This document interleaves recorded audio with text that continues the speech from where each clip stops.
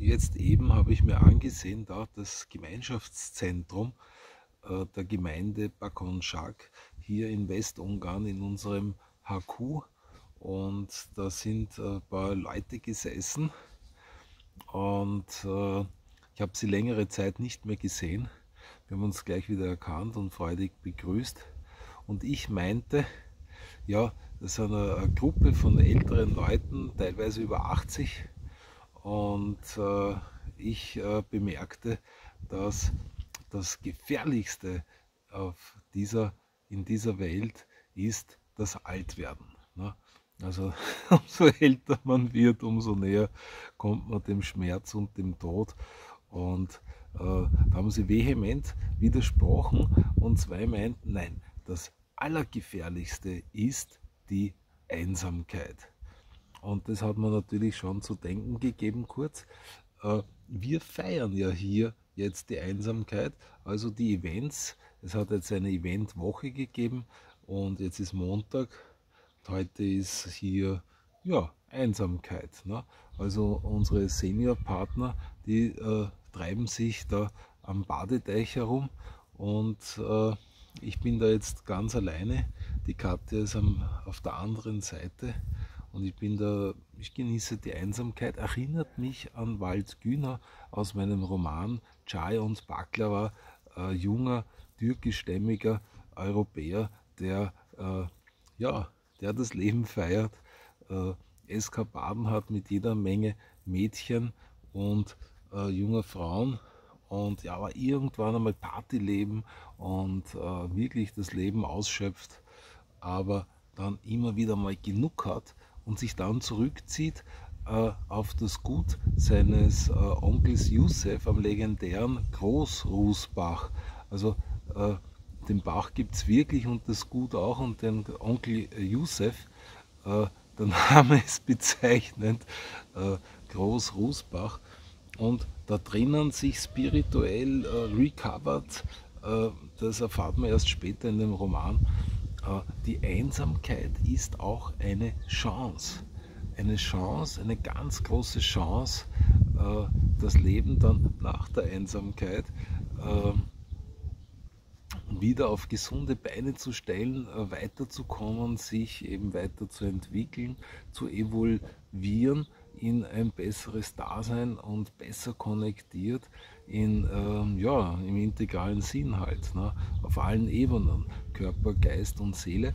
Und ähm, also ist die Einsamkeit, die erwünschte Einsamkeit äh, ein Segen, die unerwünschte Einsamkeit ein Fluch oder man sollte die unerwünschte Einsamkeit in die gewünschte Einsamkeit äh, umwandeln.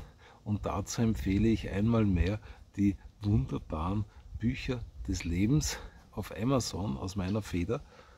Und äh, da findet man Zugang, wie man die Einsamkeit zu ja, feiern kann, wie man von ihr profitiert. Denn in äh, Zwei- oder Mehrsamkeit, ja, wie eigentlich der gewöhnliche Mensch immer Gemeinschaft sucht, oft sehr opportunistischer Zugang. Das heißt, man vergisst vieles, was aus Feinden werden wieder Freunde, nur dass man nicht alleine ist, was man da alles erträgt und äh, ja, Prinzipien über Bord wirft und äh, ja, eigentlich mit Leuten zusammen ist, die man gar nicht wirklich mag.